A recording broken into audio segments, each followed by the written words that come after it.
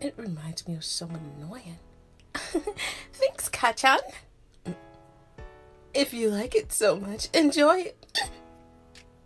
Why did you do that? It's not necessary to do. It, you got me ice cream and I actually enjoyed it.